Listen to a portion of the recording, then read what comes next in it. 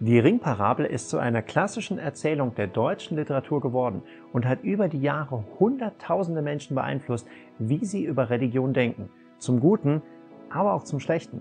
Heute schauen wir uns dabei erst die Grundfassung der Ringparabel an, danach zweitens, wie Lessing die Ringparabel in seinem Drama Nathan der Weise auf entscheidende Weise abgeändert hat und dann gehen wir auf die kritischsten neun Punkte ein.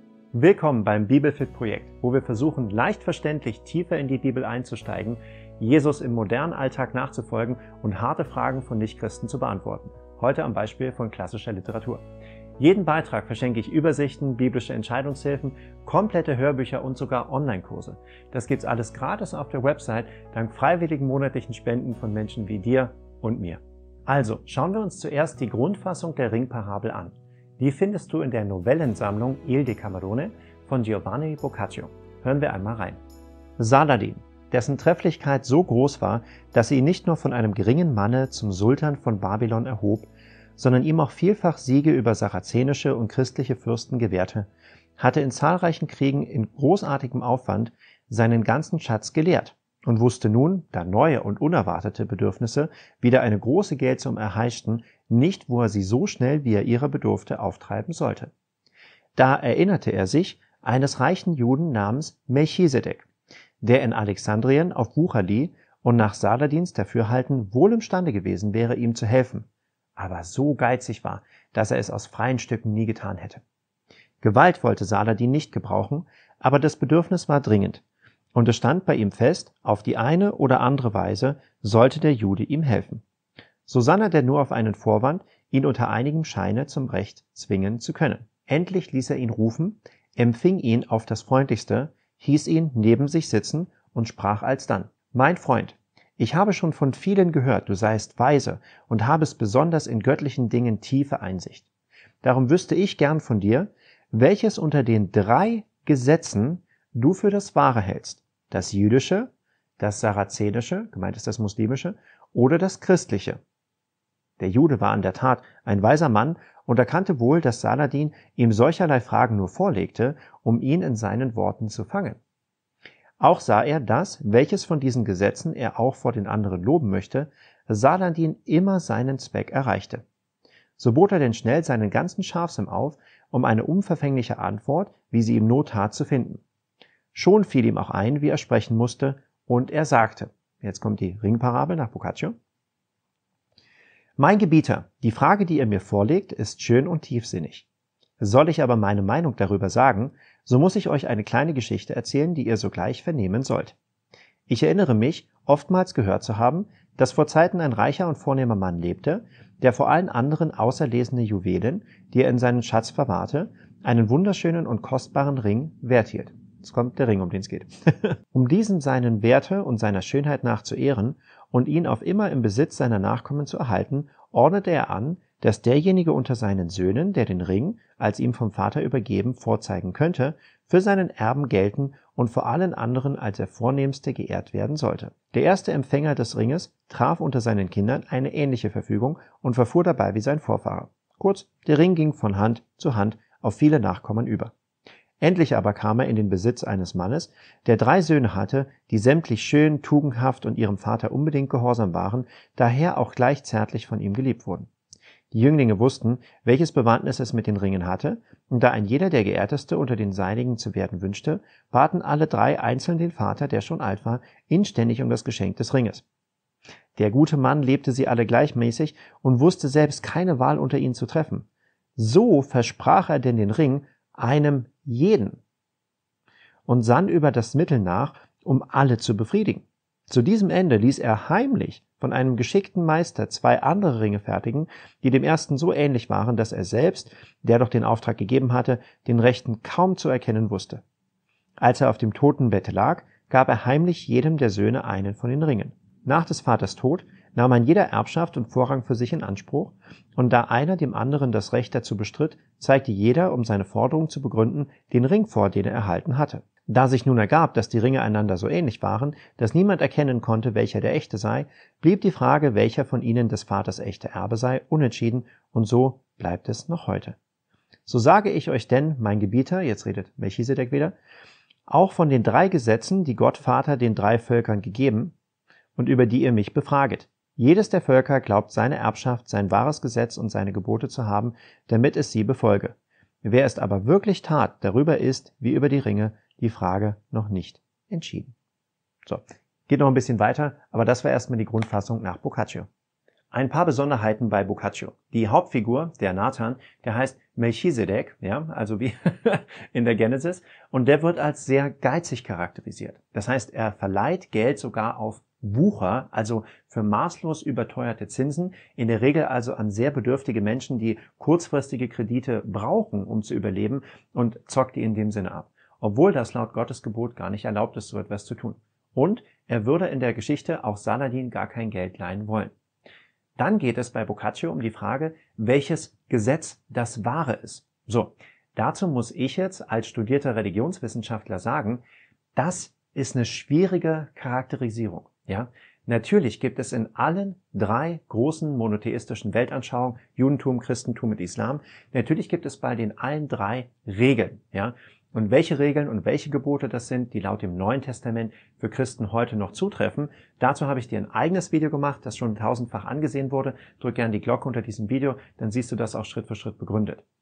Trotzdem muss man aber ganz deutlich festhalten, dass es, und das ist auch eine Besonderheit vom biblischen Christentum im Gegensatz zu den anderen Weltanschauungen, dass es im biblischen Christentum vordergründig gar nicht so sehr um Regeln, Gesetze und Gebote geht. Ich erkläre es gleich nochmal genauer, aber das biblische Christentum ist eine Weltanschauung, die den Anspruch erhebt, die Realität wahrheitsgemäß zu beschreiben. Ja, das heißt, es soll nicht ein Märchen, nicht eine Fabel oder irgendwas sein, sondern der Anspruch ist es, okay, die Realität wird so beschrieben, wie sie ist. Und im Kern vom biblischen Christentum geht es darum, wie schuldige Individuen, die das wirklich von Herzen wollen, wie die vor dem jüngsten Gericht freigesprochen werden können. Ja? und dass das ein Freispruch ist der Individuen, die das von sich aus wollen, der diesen Individuen als freies Geschenk Gottes angeboten wird. Und das hat mit Regeln und Gesetzen also erstmal nicht so viel zu tun. Nächster Punkt, bei Boccaccio ist es zwischen den Zeilen so, dass der Melchisedek, der Nathan, der soll dem Sultan die Frage beantworten und wenn er sie falsch beantwortet, dass der Sultan dann irgendwie an sein Geld, an Melchisedeks Geld herankommt. So, dazu heißt es ja auch im Text, auch sei er, also die Nathan-Figur, das, welches von diesen Gesetzen er auch vor den anderen loben möchte, Saladin immer seinen Zweck erreichte. So, warum das aber so ist, das wird nicht erklärt, was die Sache natürlich irgendwie witzlos macht, weil wir als Leser die Konsequenzen und den Spieleinsatz überhaupt nicht kennen, sondern irgendwie erraten müssen, was wäre denn, wenn er eine falsche Antwort geben würde. Was der Ring ist, das ist klar, dass das die eine wahre Religion ist, okay. Aber es ist völlig unklar, woran man genau diesen einen wahren Ring erkennen soll und woher man jetzt weiß, was eigentlich die wahre Religion ist.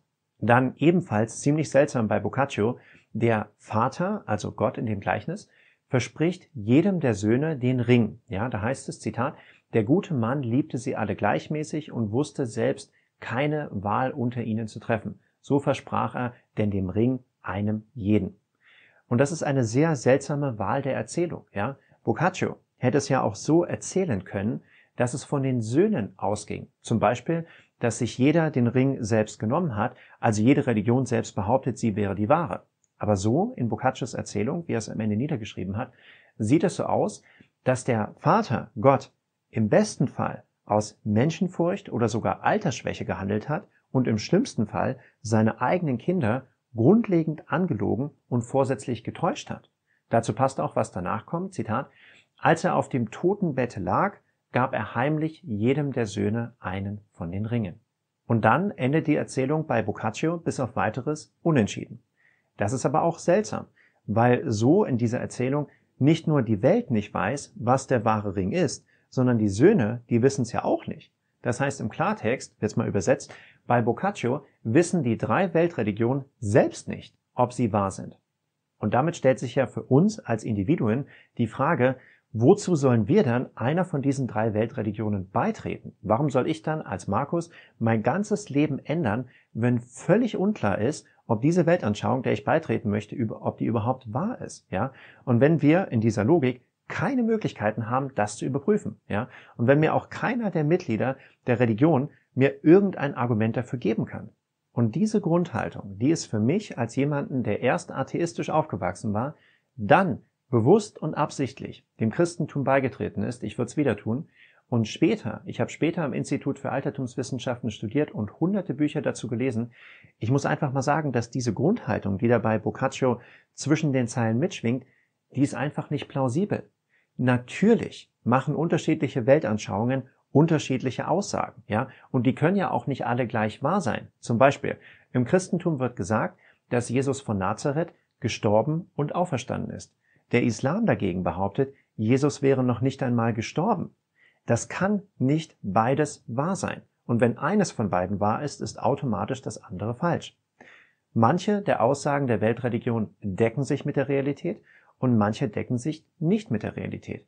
Und die Kernaussagen des biblischen Christentums, die decken sich ausgesprochen gut mit der Realität und den historischen Fakten, was beim Islam beispielsweise nicht der Fall ist. Tut mir leid, wenn das harsch klingt, das ist einfach Fakt und es hilft ja nichts, um den heißen Brei rumzureden. Dazu habe ich dir auf diesem Kanal mehrere Videos vorbereitet, wo du das Schritt für Schritt für dich in Ruhe nachvollziehen kannst. Drück gern die Glocke unter diesem Video, dann wird dir das auch angezeigt. Gehen wir jetzt weiter zu dem, was Lessing über 400 Jahre später aus der Erzählung von Boccaccio gemacht hat. Ein paar Eindrücke mal aus dem gesamten Buch Nathan der Weise, bevor wir die wichtigen Passagen lesen. Ich habe das Buch schon ein paar Mal gelesen gehabt. Ich war damals auf einem humanistischen Gymnasium und ich hatte Literaturleistungskurs, sodass ich das Buch schon kannte. Ich hatte auch nach dem Abitur im Nebenfach Philosophie studiert, sodass auch die Zeit, in der Lessing das niedergeschrieben hat und auch Lessings Denken in Anführungsstrichen, das war mir jetzt nicht völlig unbekannt. Trotzdem ist das jetzt wieder zu lesen, das ist eine befremdliche Erfahrung gewesen. Woran mache ich das fest? Zum Beispiel daran, wie häufig in diesem Buch Blasphemie genutzt wird dass also Charaktere in dieser Geschichte sowas sagen wie Oh Gott oder Ach Gott oder einfach Gott. Und ich würde das verstehen, das ist ja auch ein fiktives Werk, wenn diese Blasphemie irgendeine Rolle in der Handlung hätte. Oder wenn Lessing diese Blasphemie wenigstens nutzen würde, um die Personen, die sich blasphemisch äußern, irgendwie zu charakterisieren oder so. Das tut es aber nicht. Ja, es wird einfach, diese Blasphemie, die wird einfach als ganz normale Redewendung benutzt, sodass der Leser denken könnte, es wäre normal, so zu sprechen. Was auch befremdlich war, dass es in dem Buch seitenweise um Nebenschauplätze und Details geht, die für die Handlung unerheblich sind und die auch in der Geschichte danach nie wieder auftauchen. Zum Beispiel ein Mantel oder ein Schachspiel oder ein Schwert. Das ist komisch, ja. Oder auch, dass die Charaktere sich über belanglose Details, dass die komplett emotional eskalieren und die Emotionen bei Dingen hochkochen, die zwei Seiten weiter wieder völlig irrelevant sind. Ich hatte tatsächlich mal, kurzer Fakt am Rande, nachdem ich das oder während ich das gerade gelesen hatte, hatte ich mal einen Dialog hier drin nachgestellt. Ich habe nur den Gegenstand, um den es ging oder das, worum es ging, ausgetauscht mit einer Blumenvase, die bei uns im Wohnzimmer steht. Und meine Frau kam gerade rein und hat mich angeguckt, als hätte ich den Verstand verloren. Es wird noch seltsamer. Eine der Figuren aus dem Buch, eine junge Frau namens Rächer, gerät in Lebensgefahr. Dann wird sie aus der Lebensgefahr von einem Soldaten gerettet, der in dem Drama auch zwei verschiedene Namen hat. Dann, direkt danach, verliebt sich Rächer auf der Stelle in den Soldaten und will ihn heiraten und alle anderen Figuren finden das normal. Zur Erinnerung, dieser Soldat in diesem Roman, in diesem Drama, ist ein Typ, den sie nicht kennt. Sie kennt ihn nicht, ja? Das ist jemand, der sich in dem Buch wiederholt antisemitisch äußert, der von sich selbst sagt, er wäre suizidal und der sie, Rächer, bei fast jedem ihrer Treffen beschimpft, ja? Sie verguckt sich in ihn und niemand denkt an sowas wie posttraumatische Belastungsstörung oder Stockholm-Syndrom. Alle finden es normal und ermutigen sie sogar dazu, sich lebenslang unwiderruflich an den Typen zu binden. Also das würde heutzutage als psychischer Missbrauch zählen. Zu Recht. Und das Kurioseste von allem, bevor wir direkt in den Inhalt gehen, am Ende des Buches stellt sich heraus, dass die meisten Hauptcharaktere Verwandte ersten Grades sind. Aber alle freuen sich plötzlich darüber. Wieder zur Erinnerung. Wenige Minuten vorher wollten beispielsweise Rächer und der Soldat noch heiraten und höchstwahrscheinlich miteinander schlafen und Kinder haben. Plötzlich stellt sich heraus, dass das nicht geht, weil sie Geschwister sind und statt dass das ein ultimativer Schock ist, dass die quasi Verlobte, ja, des Soldaten und seine fast Ehefrau, dass die seine eigene Schwester ist und er um ein Haar Inzest begangen und mit seiner eigenen Schwester geschlafen hätte, sind alle völlig okay damit und freuen sich sogar. Also das ist eine Wendung, die ist im echten Leben schwer so vorstellbar.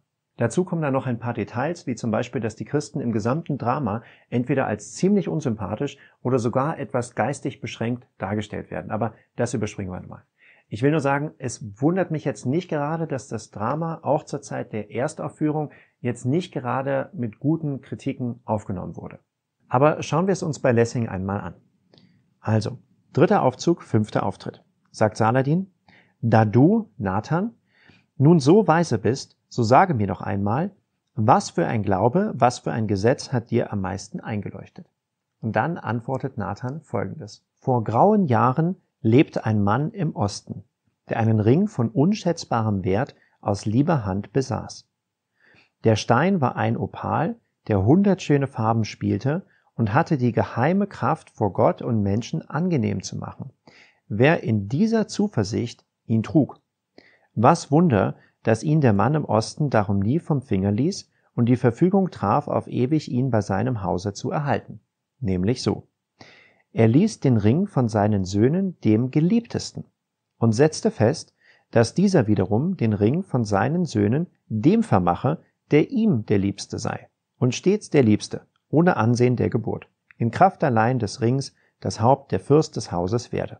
So kam nun dieser Ring von Sohn zu Sohn auf einen Vater endlich von drei Söhnen, die alle drei ihm gleich gehorsam waren, die alle drei er folglich gleich zu lieben sich nicht entbrechen konnte. Nur von Zeit zu Zeit erschien ihm bald der, bald dieser, bald der dritte, und so wie jeder sich mit ihm allein befand und sein ergießend Herz die anderen zwei nicht teilten, würdiger des Ringes. Schwierig, den er denn auch einem jeden die fromme Schwachheit hatte zu versprechen. Es kam zum Sterben, und der gute Vater kömmt in Verlegenheit. Er schmerzt ihn zwei von seinen Söhnen, die sich auf sein Wort verlassen, so zu kränken. Was zu tun? Er sendet in Geheimen zu einem Künstler, bei dem er nach dem Muster seines Ringes noch zwei andere bestellt und weder Kosten noch Mühen sparen heißt, sie jenem gleich vollkommen gleich zu machen. Das gelingt dem Künstler. Da er ihm die Ringe bringt, kann selbst der Vater seinen Musterring nicht unterscheiden. Froh und freudig ruft er seine Söhne, jeden insbesondere, und gibt jeden insbesondere seinen Segen und seinen Ring und stirbt. Kaum war der Vater tot, so kömmt ein jeder mit seinem Ring, und jeder will der Fürst des Hauses sein. Man untersucht, man zankt, man klagt. Umsonst. Der rechte Ring war nicht erweislich. So, dann sagt er weiter, fast so unerweislich, als uns itzt der rechte Glaube. Fragt Saladin zurück, wie? Das soll die Antwort auf meine Frage sein? Sagt Nathan weiter, soll mich bloß entschuldigen, wenn ich die Ringe nicht getraut zu unterscheiden, die der Vater in der Absicht machen ließ, damit sie nicht zu unterscheiden wären. So schreibt Lessing hier.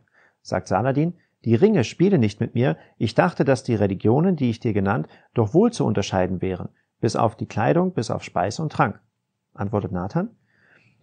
Und nur von Seiten ihrer Gründe nicht, denn gründen alle sich nicht auf Geschichte, geschrieben oder überliefert, und Geschichte muss doch wohl allein auf Treu und Glauben angenommen werden.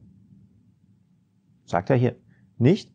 Nun, wessen Treu und Glauben zieht man denn am wenigsten in Zweifel? Doch der seinen, doch deren Blut wir sind, doch deren, die von Kindheit an uns Proben ihrer Liebe gegeben, die uns nie getäuscht, als wo getäuscht zu werden uns heilsamer war.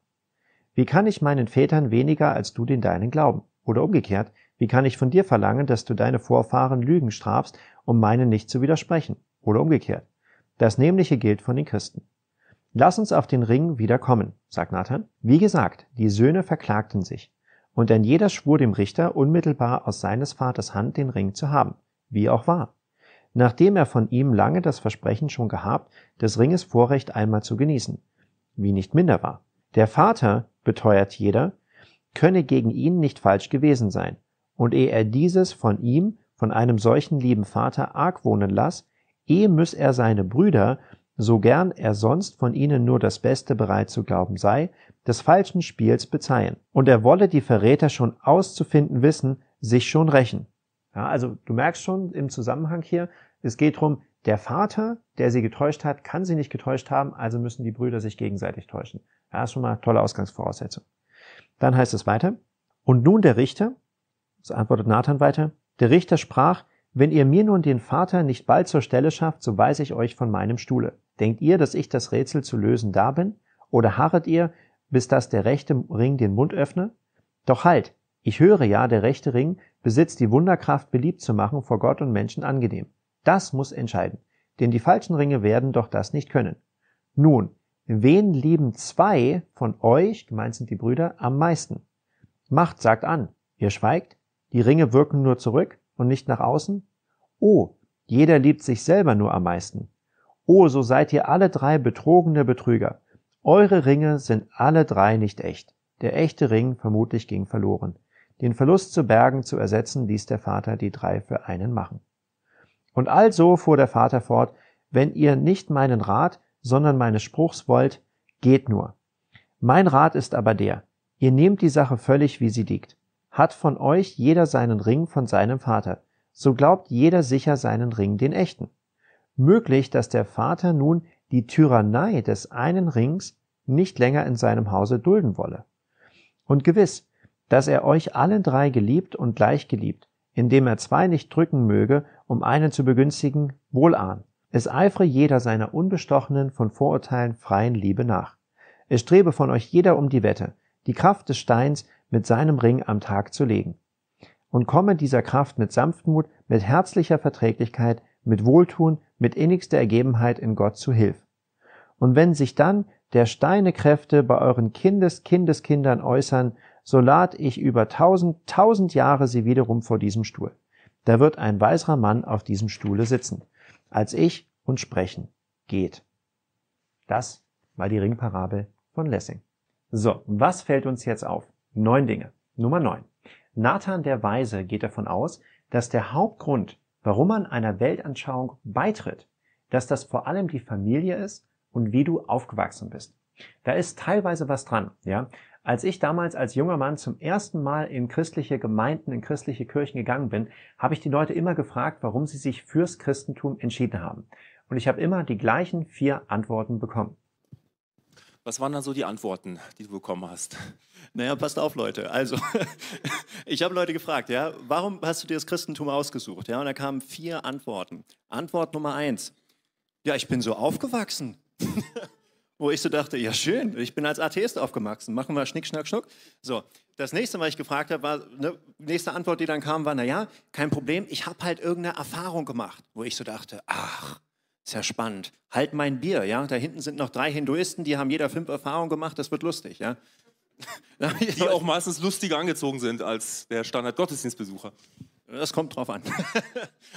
und dann habe ich jedenfalls gefragt gehabt, okay, was, was gibt es noch so? Und dann waren da, ja, alle meine Freunde, die sind halt auch alle in der Church, wo ich so dachte, ja, denkst du, Bahai-Menschen haben keine Freunde? Ja? Oder, naja, ich brauche halt das Christentum, damit ich mich irgendwie als besserer Mensch benehme. Und das hat mich traurig gemacht, wo ich dachte, wirklich? Da bin ich so auf Abstand gegangen innerlich. Du brauchst eine Religion, die dir sagt, dass du dich nicht schlecht benehmen sollst? Ich glaube, ich kriege das auch so hin. Vielleicht fühlst du dich jetzt ertappt, aber das ist ja auch eine Chance, um zu erkennen, dass mehr hinter der Weltanschauung, wie zum Beispiel im Christentum, dahinter stecken kann. Nathan der Weise geht aber davon aus, dass es keine externen oder überprüfbaren Argumente oder Gründe für irgendeinen Wahrheitsanspruch irgendeiner der großen Weltanschauungen gibt. Ja? Und das ist ja eben nicht der Fall. Dazu habe ich dir eine eigene Videoreihe auf diesem Kanal bereitgestellt, wo wir Schritt für Schritt wissenschaftlich darauf eingehen und wo du dir anschauen und anhören kannst, warum es sehr gute Gründe gibt, die dafür sprechen, dass ausgerechnet das Christentum die eine zutreffende Weltanschauung ist und andere mit hoher Wahrscheinlichkeit nicht. Drück gern die Glocke unter diesem Video, dann wird dir das Ganze auch angezeigt. Nummer 8. Bei Nathan der Weise scheint es vor allem um Toleranz zu gehen. Ich lese dir mal zwei Stellen vor. Einmal hier. Wem eignet Gott? Was ist das für ein Gott, der einem Menschen eignet? der für sich muss kämpfen lassen. Dann heißt es weiter an einer anderen Stelle. Wenn hat und wo die fromme Raserei, den besseren Gott zu haben, diesen besseren der ganzen Welt als besten aufzudringen, in ihrer schwärzesten Gestalt sich mehr gezeigt als jetzt. Im Zusammenhang des Buches sind damit natürlich die Kreuzzüge gemeint, aber man fühlt sich als Leser auch sehr an den Dreißigjährigen Krieg erinnert, der zur Zeit von Lessing in der kulturellen Diskussion noch präsenter gewesen ist als heute. Und Frieden zwischen Anhängern verschiedener Weltanschauungen, das ist ein absolut erstrebenswertes und es ist auch ein nötiges Ziel. Aber was wir nicht machen dürfen, ist Wahrheit dafür zu kompromittieren, ja, in Lüge zu leben. In Lüge zu leben bringt immer nur noch größeren Konflikt hervor und macht am Ende alles noch schlimmer. Und es sieht in dem Buch ganz so aus, als ob Lessing, der Autor, den Unterschied zwischen akzeptieren und tolerieren nicht kennt. Zur Erklärung. Toleranz ist, wenn ich sage, mir gefällt's nicht, ich find's wirklich nicht gut, es ficht mich an. Aber zum Beispiel, wenn die NPD meint, dass sie am 3. Oktober einen Aufmarsch vor dem Bundestag platzieren muss, dann soll sie halt. Das, diese Einstellung, das ist Toleranz. Akzeptanz auf der anderen Seite ist, wenn ich sage, yay, wie kann ich die NPD unterstützen? Wo ist das Spendenkonto? Kommt, wir sammeln alle mit für diesen Aufmarsch. Ja, das wäre Akzeptanz. Das ist nicht das Gleiche. Also zusammengefasst, Toleranz ist, ich wehre mich nicht dagegen. Akzeptanz ist, ich will das unterstützen und befeuern. Dazu habe ich einen eigenen Beitrag auf diesem Kanal gemacht, wo ich das Schritt für Schritt mit Beispielen erkläre. Drücke gerne die Glocke unter diesem Video, dann wird dir das auch angezeigt. Nummer 7, der Ausgang der Erzählung. Es scheint so zu sein, dass die Geschichte, die Ringparabel bei Lessing zwei verschiedene Ausgänge hat. Einmal, dass der Ring, die wahre Religion, verloren gegangen ist. Und dann an einer anderen Stelle, dass der Ring von den Söhnen, also die wahre Religion, von den Anhängern selbst erwiesen werden muss. Und das, das ist wirklich seltsam. Und du bekommst beim Lesen den Eindruck, dass Lessing nicht den Unterschied kennt zwischen weichem und hartem Agnostizismus. Was ist das? Ich erkläre es kurz. Weicher Agnostizismus ist eigentlich eine relativ gesunde und auch eine gute Grundhaltung, dass man sagt, okay, ich weiß jetzt nicht, welche Weltanschauung, ich weiß nicht, welche Religion die wahre ist, aber ich würde es gern wissen. So, das ist weicher Agnostizismus von Agnostizismus, das bedeutet einfach, ich weiß es nicht, von Agnosis, nicht wissen, griechisch. Harter Agnostizismus ist was ganz anderes. Weicher Agnostizismus eben war, ich weiß es nicht. Harter Agnostizismus ist, ich weiß es nicht und man kann es nicht wissen. So, da stellt sich die Frage, ich muss ja erstmal sehr, sehr viel über diesen Gegenstand selbst wissen, um die Aussage mit Bestimmtheit treffen zu können, dass man es nicht wissen kann. Das sind zwei ganz verschiedene Dinge. Weil wenn ich sage, ich weiß es nicht, aber man kann es nicht wissen, dann muss ich ja schon wissen, dass man es nicht wissen kann und damit einiges mehr über diesen Gegenstand wissen. So. Und genau genommen, weicher Agnostizismus, ja, das ist eine logische eine logische Grundhaltung, mit der man an die Realität rangehen kann. Harter Agnostizismus ist eigentlich nicht logisch, sondern verdankt sich wieder irgendeiner Weltanschauung oder Ideologie, die dahinter steht. Wenn du möchtest, dass ich mal ein eigenes Video mache, wo wir auf diese Unterschiede und auf das Thema Atheismus noch genauer eingehen, dann drück gerne die Glocke unter diesem Video, dann weiß ich, wie viele von euch das interessiert. Problem Nummer 6. Nirgendwo im Neuen Testament steht, dass das Christentum, wie Lessing das behauptet, vor den Menschen angenehm machen würde. Eher im Gegenteil. Hör dir mal an, was Jesus selbst dazu sagt. In Matthäus 10 sagt er, weil ihr euch zu mir bekennt, werdet ihr von allen gehasst werden. Nochmal, nicht geliebt werden, sondern gehasst werden. Ja? Also Jesus redet nicht nur von Hass, sondern auch davon, dass die Zugehörigkeit zu Jesus der Grund ist für diesen Hass. In Matthäus 24 sagt er, man wird euch bedrängen man wird euch, die Christen, meine Nachfolger, sagt er, misshandeln und töten. Die ganze Welt wird euch hassen, weil ihr zu mir gehört. Andere Stelle, Johannes 15. Wenn euch, meine Nachfolger, die Christen, wenn euch die Welt hasst, dann sollt ihr wissen, dass sie mich vor euch gehasst hat. In Lukas 6 heißt es, wie glücklich seid ihr, wenn die Menschen euch hassen, wenn sie euch ausstoßen und euren Namen in den Schmutz ziehen, weil ihr zum Menschensohn, weil ihr zu mir gehört, sagt Jesus. Und dann sagt Jesus nochmal ganz sonnenklar in Matthäus 24, seht, ich habe es euch vorausgesagt. Das heißt zusammengefasst, was passiert ist, ist folgendes. Lessing behauptet einfach, er behauptet einfach, wenn das Christentum wahr wäre, würde das Christentum die Christen vor anderen Menschen angenehm machen. Das widerspricht aber direkt sonnenklar dem, was Jesus selbst über das Christentum sagt. Er sagt nämlich dazu das komplette Gegenteil. Nummer 5. In Lessings Ringparabel sollen die Gläubigen selbst die Wahrheit hervorbringen. So, jetzt musst du mal überlegen, welcher Appell spricht denn daraus? Was meine ich mit Appell? Damit meine ich, dass eine Botschaft verschiedene Ebenen haben kann. Eine Botschaft kann eine Sachebene haben, das heißt, das, was die Botschaft eigentlich in der Sache aussagt. Sie kann auch eine Selbstkundgabeebene haben, das heißt, was sagt die Botschaft über mich als Sprecher aus. Sie kann tatsächlich auch aber eine Appellebene haben. Ja?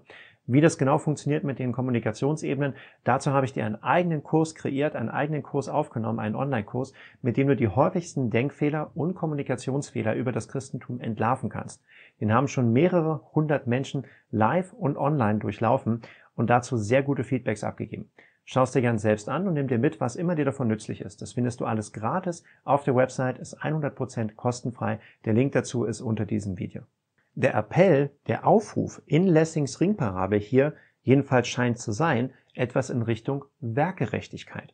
Das heißt, du musst dein eigenes Heil erweisen. Du musst deine Rettung, du musst die Wahrheit deiner Religion durch Taten selbst hervorbringen. Das ist etwas, was wir Werkgerechtigkeit nennen und das ist ein völlig unchristliches Konzept. Nummer vier: Lessing geht davon aus, dass Wahrheit tyrannisch wäre. Und das ist der Punkt, wo ich als Religionswissenschaftler sagen muss, das scheint zu sein, dass er das Christentum nicht verstanden hat. Ja, als ob im Christentum jemand gezwungen würde, Christ zu sein. Das ist ein totales Missverständnis. Lass mich dir das kurz erklären. In fast allen Weltreligionen geht es darum, dass man mehr gute Taten als böse Taten vollbringen soll. Das heißt, dass du mindestens am Ende deines Lebens einen mindestens 51 Prozent Überhang haben musst von guten zu schlechten Taten. So. Das Problem ist dabei, dass du nie wissen kannst, welche einzelne Tat jetzt eigentlich wie zählt und wie gewichtet wird.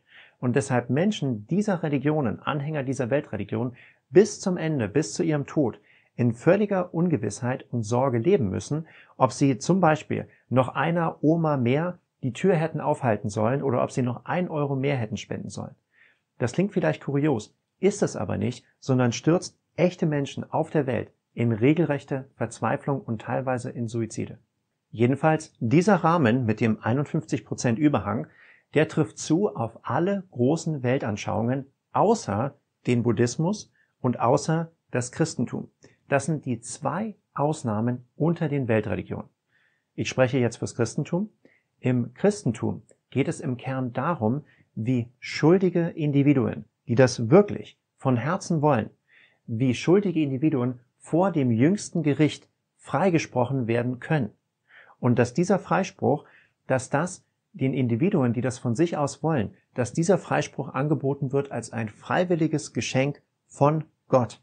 Ich will das nochmal unterstreichen. Es geht im Christentum um schuldige Individuen, die eine freiwillige Entscheidung treffen.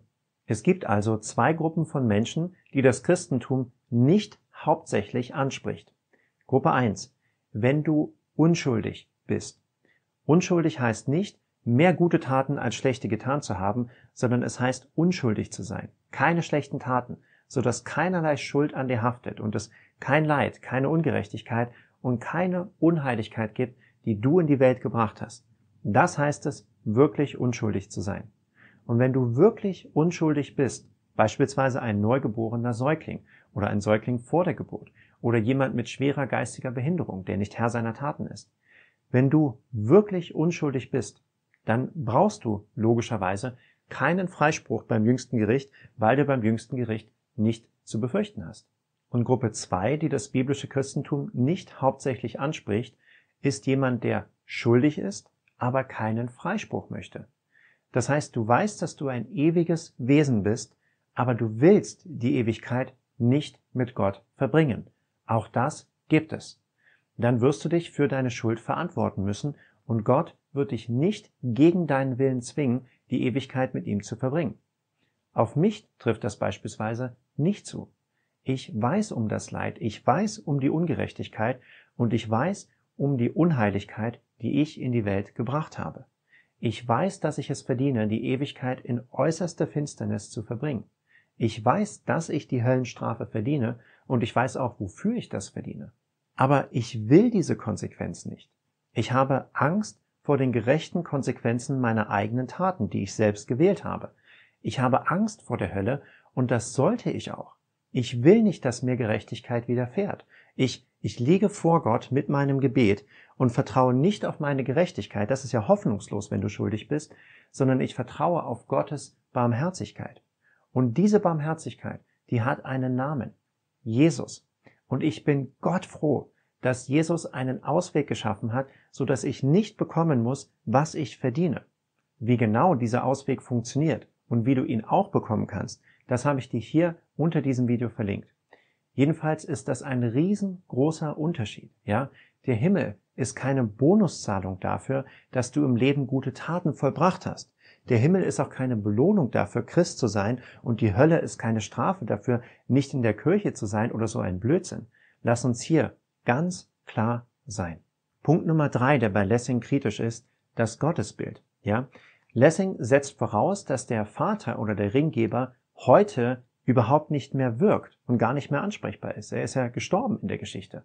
Das ist so ein Gottesbild aus der Zeit, aus der Lessing geschrieben hat, von Deismus. Ganz vereinfacht gesprochen, das ist jetzt nicht die korrekte religionswissenschaftliche Definition, bedeutet das ganz vereinfacht gesprochen, nach dem Motto, Gott hat die Welt einmal geschaffen und dann hat er sich für immer aus der Welt verabschiedet und das war's jetzt. So. Und das ist das, was Lessing uns hier zwischen den Zeilen einfach mitgibt. Und das nennen wir in der Kommunikationspsychologie eine Snug Premise. Das heißt eine Prämisse, die ich da einfach reinschleiche. Ja? Zum Beispiel, wenn du in den Fahrradladen kommst und der Fahrradverkäufer dich fragt, hey, soll dein neues Fahrrad lieber rot oder grün sein? Ja? Oder wann möchtest du dein Fahrrad mitnehmen? Obwohl du noch gar nicht gesagt hast, dass du ein Fahrrad möchtest oder dass du ihm überhaupt den Kaufauftrag gegeben hast, dann ist das eine Snug Premise. Er impliziert das einfach, er schiebt das einfach zwischen den Zeilen mit rein, um dir das Fahrrad zu verkaufen. Um mehr dazu zu erfahren, wie diese Dinge funktionieren und wie du die selbst identifizieren kannst, wie gesagt, ist alles im Kurs erklärt. Nimm dir den Kurs gern gratis mit im Link unter diesem Video. Und das ist das, was hier auch so seltsam ist bei dieser Ringparabel, weil das, was Lessing über Gott schreibt, ist, dass Gott die Leute anlügt. Ja, sie verlassen sich auf Gottes Wort und er lügt den anderen, den Gläubigern, seinen Kindern ins Gesicht und steht dann noch nicht mal dazu. Also wirklich, wirklich seltsames Gottesbild. Nummer zwei, Lessings Fazit, ja. Du musst es dir mal von der logischen Struktur vor Augen halten. Er erfindet ein Kriterium, ja, die wahre Religion wird bei Menschen beliebt machen. Dann sagt er, oh, dieses Kriterium ist nicht erfüllt, weil die Religionen miteinander im Streit liegen und die Anhänger sich bekriegen. Und dann spricht er das Urteil darüber und sagt, und deswegen kann keine Religion wahr sein.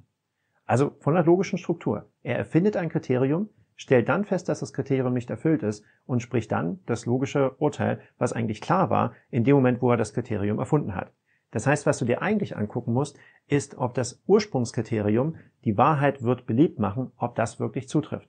Und das ist im Christentum etwas, was Jesus sagt, das ist nicht der Fall. Und Punkt Nummer eins ist damit die Verkehrung, ja.